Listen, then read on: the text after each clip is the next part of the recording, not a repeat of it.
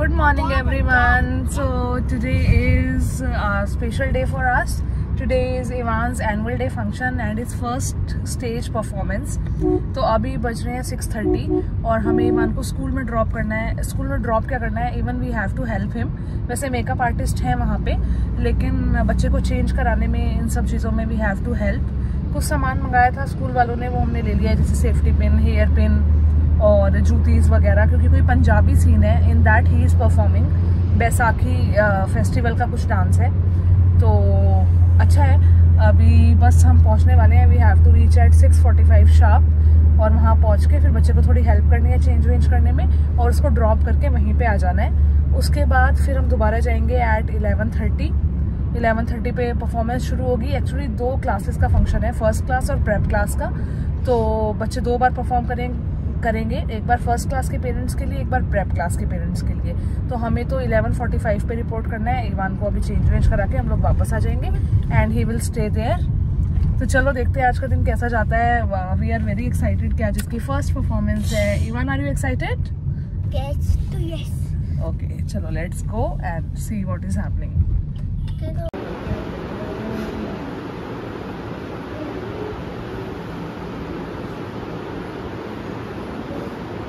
Diva.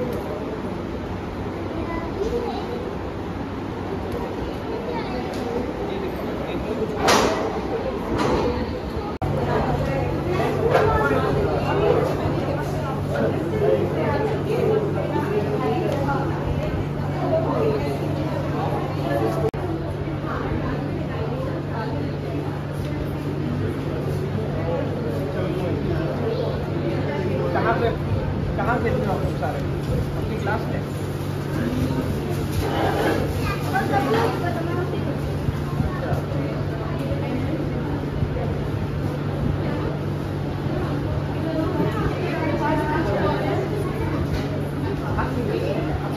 Ma'am,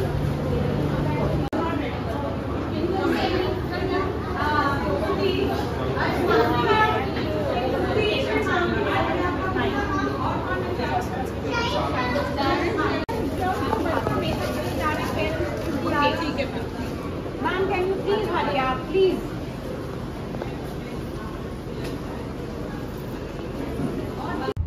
We have drop Divaan to school और आपने जो स्निपेट्स देखे तो वो वाली उसकी ड्रेस है बिल्कुल पंजाबी ड्रेस और काफ़ी सॉफ्ट मटेरियल था। मुझे ऐसा लग रहा था कहीं उसको चुभे ना वो चीज़ लेकिन काफ़ी सॉफ्ट था अच्छा था। अ, पूरा इन्होंने मुझे लग रहा है कस्टमाइज कराया है साइज़ के हिसाब से बच्चों के। तो this is the beauty of the school और स्कूल का नाम मैं आपको प्राइवेसी रीजंस की वजह से मैंने आज तक नहीं बताया तो आज भी नहीं बताऊँगी। तो बस अब जो है इवान को हम ड्रॉप करके आ गए हैं। वो अब मेकअप आर्टिस्ट के हवाले है। मतलब मेकअप हो रहा है उसका और टर्बन पहनाई जाएगी उसको।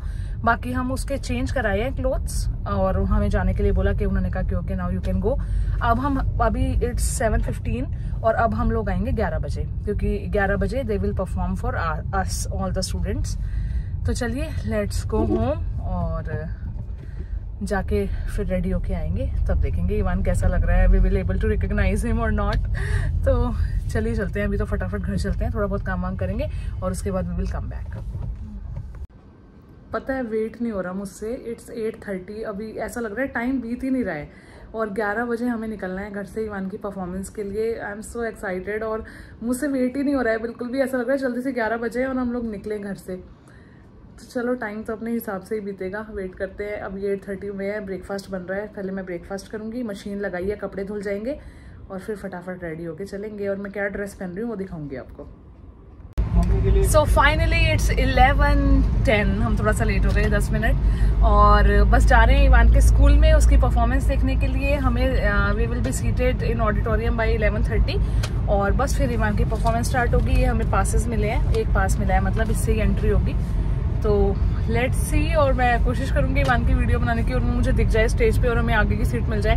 बहुत सारी प्रोबेबिलिटीज चल रही है लेट्स सी क्या होता है। तो चलिए फटाफट इवान की परफॉर्मेंस देखते हैं जाके।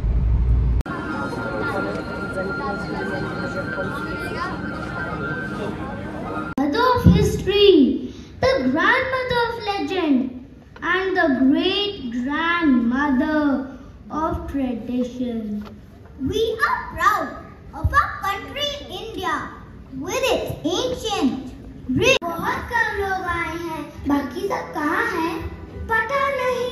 मैं भी बहुत देर से इंतज़ार कर रहा हूँ। तो चलो, रवि के घर चलकर देखते हैं